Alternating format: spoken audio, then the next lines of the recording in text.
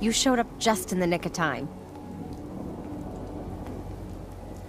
I didn't want you to have all the fun. If that's what you call fun, I'm glad you're on our side.